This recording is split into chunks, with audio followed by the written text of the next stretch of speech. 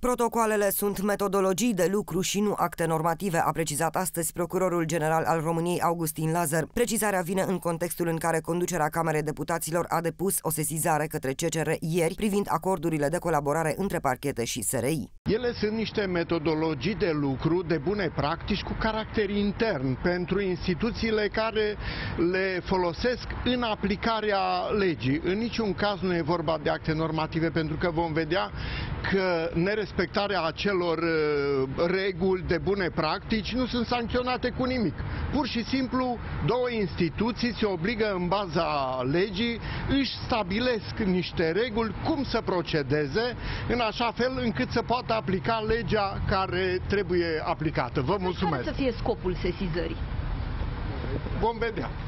Ministrul Justiției Tudorel Toader susține că nu a fost consultat de conducerea Camerei Deputaților în legătură cu sesizarea depusă la Curtea Constituțională. Astăzi am aflat și eu. Până la urmă, guvernul înțeleg că nu este parte și atunci dânsii l-au redactat, l-au motivat, l-au depus. În opinia dumneavoastră, ca fost judecător al Curții Constituționale 10 ani, este admisibilă o astfel de sesizare? Câtă vreme astăzi am aflat de ea câtă vreme nu-i știu conținutul, fiți de acord să nu-mi exprim nici punctul de vedere. Am înțeles. Tudorel Toader spunea însă zilele trecute că CCR verifică doar constituționalitatea unei legi sau a unei ordonanțe date de guvern, astfel că nu poate fi sesizată în legătură cu aceste protocoale de colaborare.